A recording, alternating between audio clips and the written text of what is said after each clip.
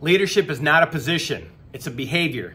This is a quote I saw on Twitter again uh, recently, and uh, it's just a good reminder for all of us in leadership positions or those of us who want to be in leadership positions or want to elevate or promote into different leadership positions.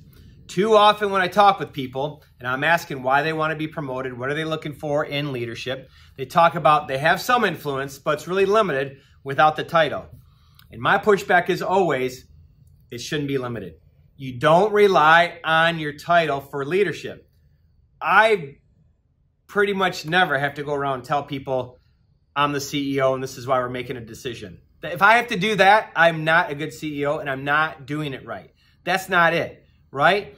When you, when you come from a leadership position, it's not about throwing your title around and telling people what to do. It's about running to the problems and helping people. Ask them how you can help.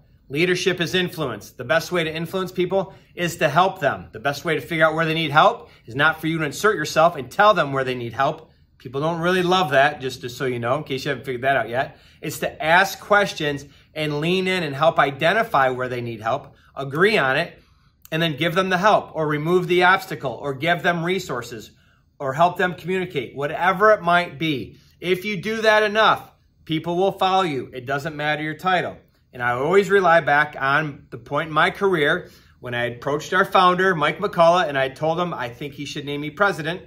And uh, so that we can go forward and, and scale the company together. I wanted to play that role. And his comment back to me was, if you want to be president, go out there and act like you're president. I left his office with that opportunity. I didn't have the title. I didn't have any compensation increase.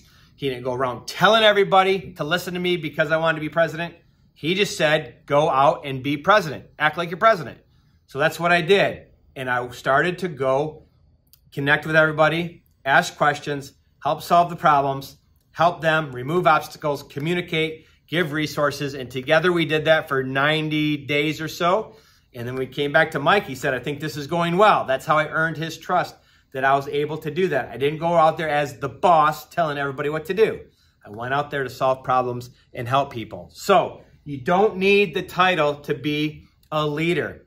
Leadership is influence. You influence people by solving problems and helping them.